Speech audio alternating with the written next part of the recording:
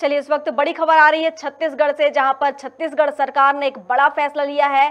श्री कृष्ण जन्माष्टमी को देखते हुए ये फैसला लिया गया है, जहाँ अब 19 अगस्त को सरकार ने शुष्क दिवस घोषित कर दिया है। यानी अब कल 19 अगस्त यानी कल कृष्ण जन्माष्टमी के अवसर पर शराब और मीट शॉप बंद रहेंगी। ये बड़ी खबर आपको बता रहे छत्तीसगढ़ से, जहाँ पर मुख्यमंत्री भूपेश बघेल ने यह ऐलान किया है कि 19 अगस्त को यानी कि कल, जबकि श्री कृष्ण जन्माष्टमी का पर्व है और इस पर्व को देखते हुए सभी शराब और मीट की दुकानों पर पाबंदी रहेगी। 19 अगस्त को ये बड़ा फैसला, छत्तीसगढ़ सरकार का, जहाँ सरकार ने 19 अगस्त को शुष्क दिवस घोषित कर दिया है और इस दिवस के चलते कल शराब और मीट शॉप पर पाबंदी रहेगी।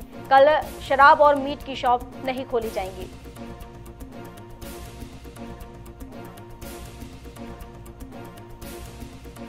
चलिए और रायपुर से हमारे संवाददाता जुड़ चुके हैं मोहम्मद शाजिद उनसे जान लेते हैं। शाजिद वहाँ पर एक बड़ा फैसला लिया है छत्तीसगढ़ सरकार ने।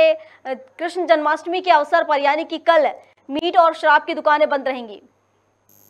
जी हाँ छत्तीसगढ़ के आबकारी विभाग ने फैसला लिया है कि कल हम्म। उन्नीस अगस्त शुक्रवार के दिन पूरी तरह से ड्राई डे रहेगा यानी कि शराब की शराब की दुकानें जो है वो नहीं खुलेंगी।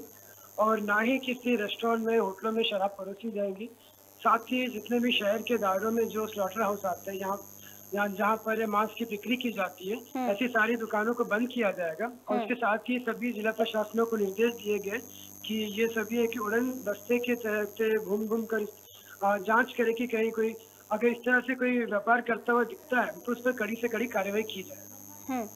किस तरह की तैयारियाँ की जा रही हैं जिस तरीके से कल पाबंदी लगा दी गई है शराब और मीट शॉप पर तो कल कोई दुकान ना खोल सके इसको लेकर किस तरह की तैयारियाँ अभी से की जा रही हैं जी आबकारी विभाग ने निर्देश सभी जिलों में जारी कर दिए हैं हाँ। जिसको लेकर सभी जिला जिला के जो प्रबंधन है सभी से मुश्किल दिख रहे हैं अभी हाँ। और उड़न दस्ते को भी उड़न दस्ते को भी निर्देशित किया गया है कि सभी जगह पर जाकर इस तरह से जाँच किया करे इसको हाँ। और दूसरी बात मैं कहना चाहूँगा कि करीब दो तीन सालों के बाद में जो कि जन्माष्टमी छत्तीसगढ़ में काफ़ी अच्छे स्तर पर मनाया जाता है लेकिन हाँ। कोरोना की वजह से जो कि मनाया नहीं जा रहा था करीब दो साल हाँ। से तो इस साल काफ़ी बड़े पैमाने पर मनाया जाएगा तो इसको लेकर सभी की भावनाएँ ना आ तो इसको लेकर शराब की दुकानें बंद की जा रही है साथ ही जो मांस बिक्री जो केंद्र होते हैं हाँ। उनकी उन्नीस अगस्त के सारे दिन सभी जो निकाय है सारी जगह बंद रहेंगे बिल्कुल।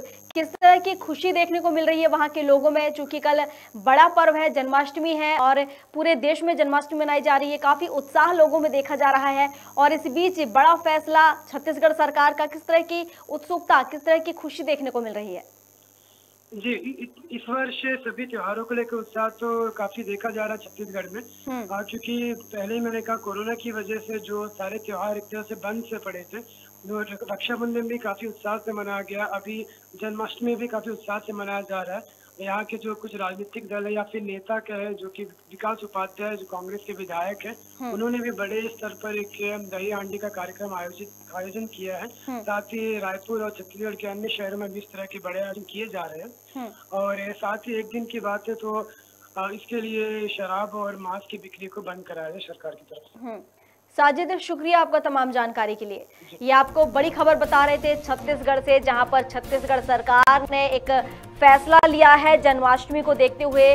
कल श्री कृष्ण जन्माष्टमी है, पूरा देश कल जन्माष्टमी का पर्व मनाएगा और उसको लेकर 19 अगस्त, यानी कि कल बड़ा फैसला लिया है छत्तीसगढ़ सरकार ने। सीएम भूपेश बघेल ने कल के दिन को शुष्क दिवस घोषित कर दिया है और इसके चलते अब कल शराब और मीट शॉप पर पाबंदी रहेगी। कल कोई भी दुकानदार शराब या मीट की शॉप नहीं खोल सकेंगे।